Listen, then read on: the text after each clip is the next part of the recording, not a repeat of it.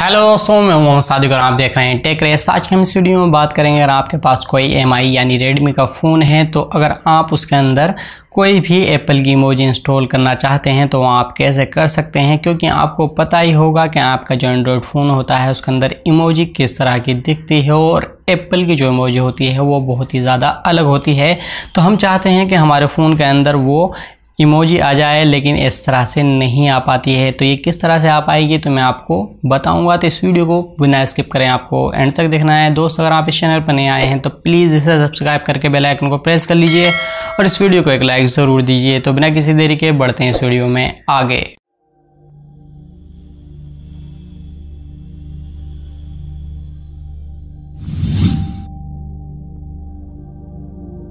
दोस्तों एप्पल की जो इमोजी है, वो देखने में बहुत ही अलग होती है और इसका जो एक्सपीरियंस है, हमें सिर्फ़ व्हाट्सएप में देखने को मिलता है। अगर हम किसी और चीज़ में इस्तेमाल करें तो वहाँ पर हमें एंड्रॉयड की इमोजी का ही यूज़ करना पड़ता है, जो देखने में इतनी अच्छी नहीं होती है।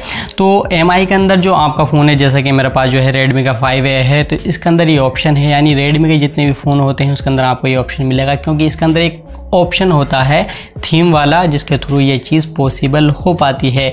तो ये किस तरीके से होने वाली है, ये मैं आपको बताऊँगा मोबाइल की स्क्रीन पर ले जाकर के आपको क्या क्या करना है। तो सबसे पहले आपको एक एप्लीकेशन की ज़रूरत होगी, जो आपको प्ले स्टोर से मिल जाएगी, आपको जाना है प्ले स्टोर में। प्ले स्टोर में जाने के बाद आपको यहाँ पर टाइप करना है Mi U I custom font installer. तो ये एप्लीकेशन है 6.4 पॉइंट के है, आपको इसे इंस्टॉल कर लेना है।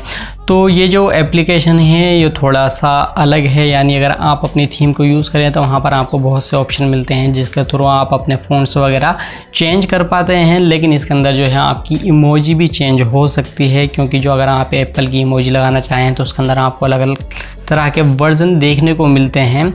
कि जो आईओएस का जो वर्जन चेंज होता है तो थोड़े थोड़े उसके अंदर कुछ इम्प्रूवमेंट होते हैं एप्पल की इमोजी में। तो यहाँ पर सारे ऑप्शन मिलते हैं कि आप कौन से वाले यूज़ करना चाहते हैं।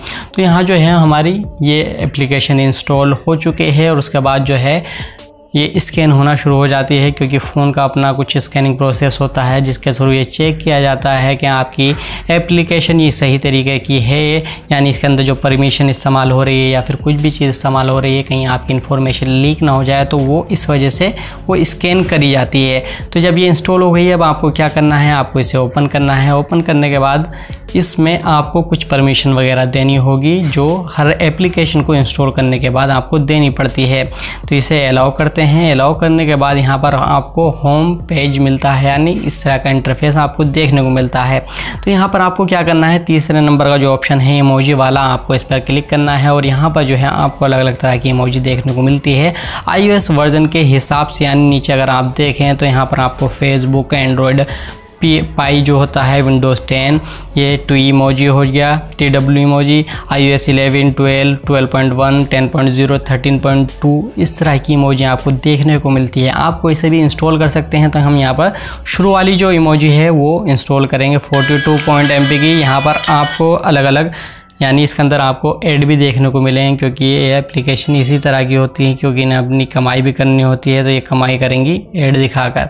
तो जैसे ही हमने उस पर क्लिक कराया forty two point one M B की तो पहले इसे हमें डाउनलोड करना पड़ेगा। तो डाउनलोड के बटन पर जैसे ही हम क्लिक करते हैं तो ये डाउनलोड होना शुरू हो जाती है। अब थोड़ा टाइम लगेगा क्योंकि ये 42.1 एमबी की फ़ाइल है और इंटरनेट की स्पीड पर डिपेंड करता है कि ये कितनी देर में होगी। हालाँकि स्पीड हमेशा सही रहती है, लेकिन लॉकडाउन की वजह से लोग घरों में हैं, जिसकी वजह से इंटरनेट ज़्यादा इस्तेमाल हो रहा है तो स्पीड आजकल कम देखने को मिलती है। लेकिन कोई बात नहीं, थोड़ा सा पेशेंस रख लेंगे क्योंकि इतना तो हो ही जाएगा। तो ये हमारी जो फ़ाइल है है 42.1 एम की ये डाउनलोड होने वाली है। और जैसे ही डाउनलोड हो जाएगी, ये फिर से एड दिखाना इन्होंने शुरू कर दिया। तो ये हो गया। अब हमें क्या करना है?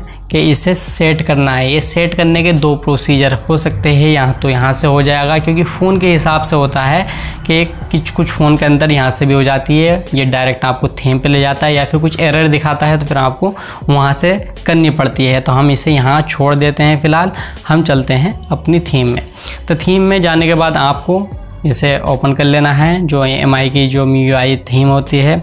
उसके बाद जो है नीचे कॉर्नर पर माई पेज पे आपको जाना है, फिर उसके बाद थीम्स पे जाना है।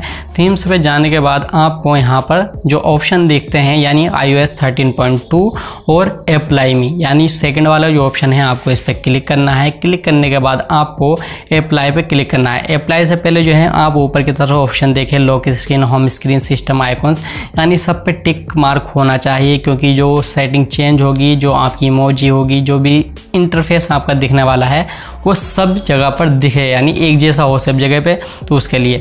तो यहाँ पर क्या होगा कि स्क्रीन इसकी बंद हो जाएगी, क्योंकि जब इसे अप्लाई करते हैं तो फ़ोन की स्क्रीन बंद हो जाएगी। यानी ये रिबूट होता है। रिबूट होने पर आपको पता ही होगा कि स्क्रीन जो है, वो रिकॉर्ड नहीं हो सकती और हो सकता है जो हम रिकॉर्ड कर रहे हैं, वो फ़ाइल ख़राब हो जाए। तो इसे हम क्या करते हैं? जैसे हमें अप्लाई पे क्लिक करते हैं तो यहाँ पर आप ऑप्शन देख रहे हैं रिबूट वाला तो इस पर हमें क्लिक करना है। लेकिन उससे पहले मैं क्या करता हूँ? अपनी स्क्रीन की रिकॉर्डिंग को बंद करता हूँ और फ़ोन रिबूट होने के बाद मैं आपको दिखाता हूँ कि आपको क्या करना है और किस तरीके से आपको करना है। तो दोस्तों, हमारे जो फ़ोन है, वो रिबूट होने के बाद शुरू हो चुका है, यानी रिस्टार्ट हो चुका है। अब जो इमोजी है, वो मैं आपको चलाकर दिखा देता हूँ कि किस तरह की हमें जो इमोजी है, वो दिखने वाली है। तो हम यहाँ पर जाते हैं और सिंपली जो भी टाइप करते हैं ए बी सी डी यानी जो भी टाइप करना होता है अल्फ़ाबेटिकली इसके अलावा हम जैसे ही इमोजी पे क्लिक करते हैं तो यहाँ पर आप देख सकते हैं कि जो ये इमोजी है, ये एप्पल की तरह हो चुकी है, यानी एप्पल की जो इमोजी है, वो हम अब यूज़ कर रहे हैं। तो किसी तरह की भी जो भी इमोजी है, अब आपको जो एक्सपीरियंस है, वो पूरे तरीके से एप्पल का देखने को मिलेगा तो जो काफ़ी अच्छा है। तो मैंने आपको बता दिया है कि जो आपका एम आई का फ़ोन है, उसके अंदर ये सारी चीज़ें इस्तेमाल हो सकती हैं, क्योंकि इसके अंदर एक एप्लीकेशन यानी थीम का ऑप्शन आपको देखने को मिलता है।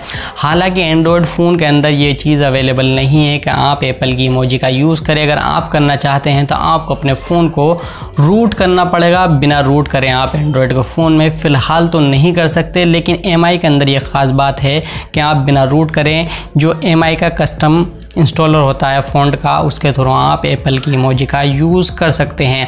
आई होप आपको समझ में आ गया होगा कि आपको क्या एप्लीकेशन इंस्टॉल करनी है क्या क्या प्रोसीजर फॉलो करने हैं और किस किस स्टेप्स को फॉलो करने के बाद आपको क्या करना है, कैसे रिबूट होगा और कैसे आप इसे अप्लाई कर सकते हैं। आई होप आपको ये वीडियो पसंद आई होगी। अगर पसंद आई है तो प्लीज़ इसे लाइक कीजिए, अपने दोस्तों के साथ शेयर कीजिए। अगर आप इस चैनल पर नहीं आए हैं तो प्लीज़ इसे सब्सक्राइब करके बेल आइकन को प्रेस कर लीजिए और मैं मिलता हूँ आपसे अगली वीडियो में। Thank you